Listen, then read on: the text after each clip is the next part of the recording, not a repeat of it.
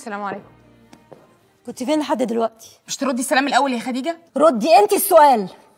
عربيتي العجلة بتاعتها نامت والاستبلين كمان كان نايم. عقبال ما خدوها وصلحوها فات يجي أكتر من ساعة. وتليفونك مقفول ليه؟ فصل شحن يا خديجة فصل شحن. وما فكرتيش تتصلي بيا من أي تليفون عشان تطمنيني عليكي؟ في إيه يا خديجة؟ هو أنا راجعة وش الفجر؟ خديجة 100 مرة أقول لك أنا مش صغيرة أنا عمري 25 سنة. الكلام ده يا حبيبتي تقوليه وانت عايشة في بيت جوزك. لكن طول ما أنت عايشة هنا هتمشي زي ما صاحب البيت ده يقول واحمدي ربنا إن هو لسه ما جاش وإلا كان عارف يتصرف معاكي. هو أنت إيه؟ ما بتتعلميش لا بجد يعني. يوسف ده عامل لك عمل؟ هو مش كفاية اللي عمله فيكي؟ ده دمر حياتك وبرضه بتخافي منه وبتعملي له حساب.